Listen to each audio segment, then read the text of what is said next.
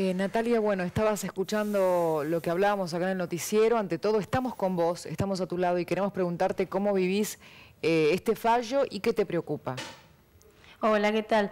Eh, y me preocupa el, después, que no vuelva a suceder, ni, o sea, como lo que me pasó a mí, cuántas mujeres está pasando lo mismo y, siempre hay, eh, la justicia no, no responde como realmente uno necesita, como lo quiere, está bien, más allá que es tiempo, este para investigar, cuando tenés todo ahí y hay profesionales en el medio, es muy difícil, ese es el problema. Eso fue lo que me dijeron. Si te tocó un tema, un, o sea, un caso muy difícil porque hay profesionales en el medio, abogados, médicos y todos conocidos de parte de él. Eh, y yo digo, bueno... O sea, vos estás denunciando que lo favorecieron porque tiene amigos.